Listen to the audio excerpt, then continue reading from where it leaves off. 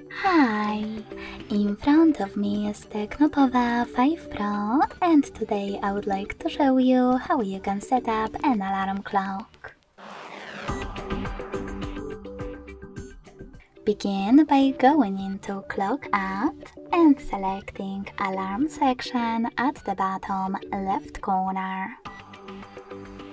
Now to create new alarm, hit this plus at the top right one. Then set up an hour.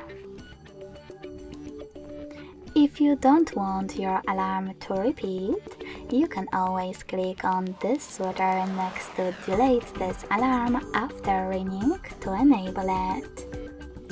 If you don't, select repeat section and pick days of the week.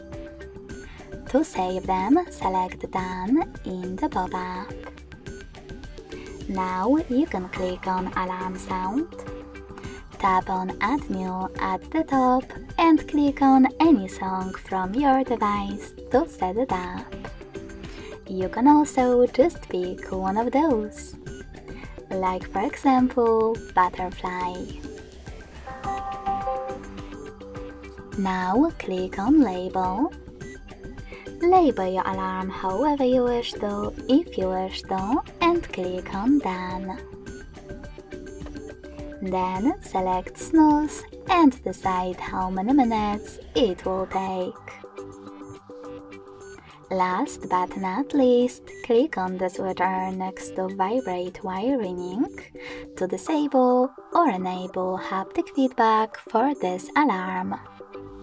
When you're done, tap on the check mark at the top right corner. As you can see, my alarm was successfully created. To switch it off completely, tap on the blue switcher next to it. And to turn it back on, click on the same, now grey one.